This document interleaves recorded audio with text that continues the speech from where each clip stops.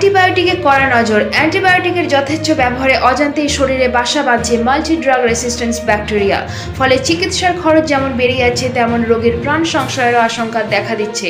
এই পরিস্থিতিতে বৈঠকে প্রেসক্রিপশন ছাড়া ওষুধের দোকানে অ্যান্টিবায়োটিক বিক্রি বন্ধে এবং ব্যবহার রুখতে নজরদারি বাড়ানোর সিদ্ধান্ত নিল রাজ্য স্বাস্থ্য দপ্তর। বাধাহীন উত্তরে হাওয়ার হাত ধরে বাংলায় শীতের আগমনী। আলিপুর আবহাওয়া দপ্তর সূত্রে খবর, সপ্তাহান্তে ছুটি উপভোগ করা যাবে শীতের আমেজ। পারদ নেমেছে পশ্চিমাঞ্চলের জেলাগুলিতেও। মমতা ব্যানার্জির গ্রেপ্তারির দাবি তুললেন বিরোধী দলনেতা শুভেন্দু অধিকারী। সেই মর্মে ইমেল চিঠিও পাঠালেন হেয়ার স্ট্রিট থানায়।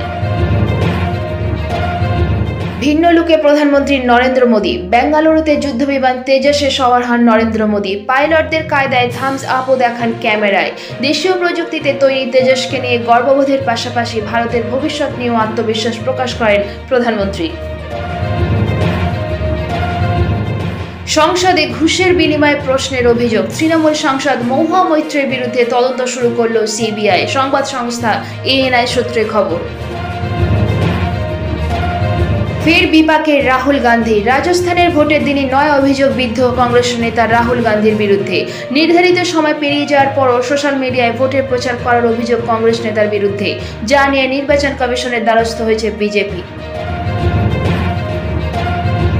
কেরলের কোচি বিশ্ববিদ্যালয়ের কনসার্টে বিশৃঙ্খলা, পদপিষ্ট হয়ে চার ছাত্রের মৃত্যু। অন্তত পক্ষে পঞ্চান্ন জন জখম হয়েছেন Kochi University of Science and টেকনোলজির ঘটনা।